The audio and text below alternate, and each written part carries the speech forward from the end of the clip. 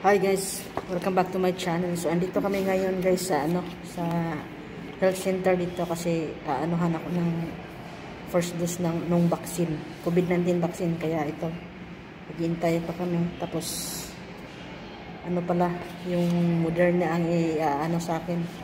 So antabayan ko guys at i-ano ko rin sa inyo kung ano yung maging effect nung vaccine sa akin. Kaya WhatsApp lang tayo guys ha. Ito lang tayo.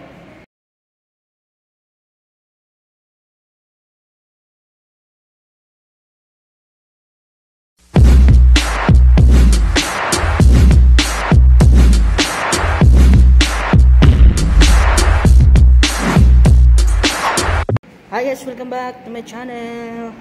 So, nito na guys, uh, tapos na akong nabaksinan. So actually, wala pa naman akong naramdaman. Iwan ko lang kung sa mga ilang minuto nito. Kasi sabi nung nurse na nag-inject sa akin is uh, stay muna daw ako ng mga 5 minutes. Siguro maya-maya pa ang ano nito. So andito na. Ito yung ano ko guys.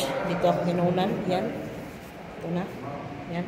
First dose pa lang to guys. So actually, mga 22 days, babalik na naman para sa second dose. So, i-update kayo kung ano ang mga eh, effect or mayroon ba talagang effect sa akin yung vaccine. Kaya, may ulit kisa. Babay mo na.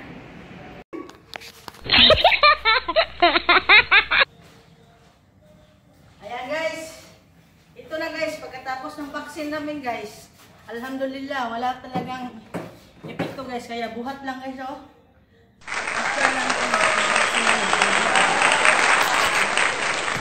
Ayan guys, ito guys katatapos lang namin mag-vaccine guys. So buhat agad ng mga mabibigat na karton.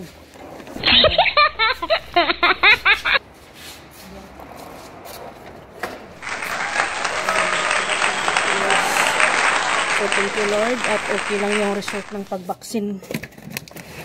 Ayan, at wala akong naramdaman. Kaya parang regular days lang din guys no.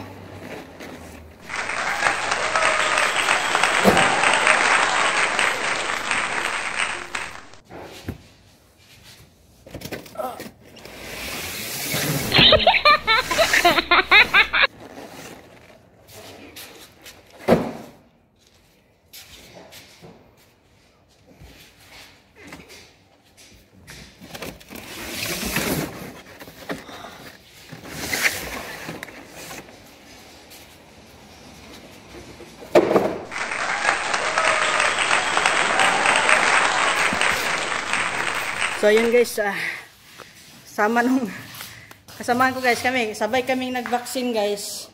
So ayan, nagbuhat pa rin. Buhat pa rin. Uh, trabaho pa rin guys.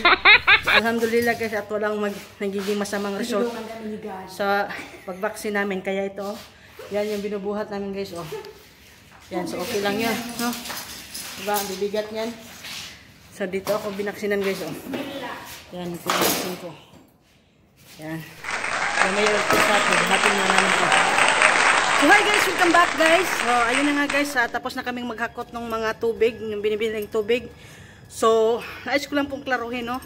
Uh, pinapakita ko lang po sa video ito na yung mga naririnig natin tungkol po sa vaccine, uh, hindi po talaga totoo yung lahat. So, pinuprove ko ngayon po kasi siguro sa, uh, siguro iba, sa mga iba't ibang klase ng tao, iba, iba rin yung reaction ng vaccine. So, sa akin lang po to, disclaimer lang po, uh, based lang po to sa akin. So, sa awa ng Diyos, okay naman po yung resulta ng ano, ng vaccine ko po. At naka, nakita niyo naman, nakapagbuhat pa ako.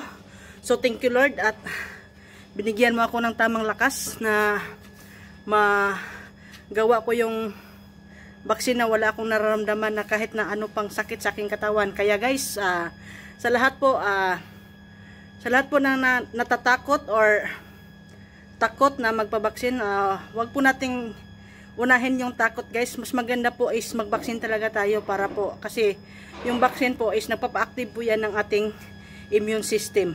Kaya sa lahat po ng mga takot dyan, wag na wag nyo at wag na wag po kayong matatakot at mas mainam po na magpabaksin tayo para mas sure natin na okay yung ano sa katawan natin. Siguro kasi yung vaccine guys, siya yung magpa-fight nung virus doon sa katawan natin. Kaya guys, uh, Huwag kayong matakot, subukan lang po natin at kahit ano pa man po ang gagawin natin sa buhay, mapabaksin man yan or ano, Diyos lang talaga ang nakakaalam guys. So sa lahat po na nagpaplano or natatakot, guys, wag na wag kayong matatakot kasi andyan naman yung Panginoon. Maglagi lang po tayong magdadasal guys at walang wala pong mangyayari sa atin.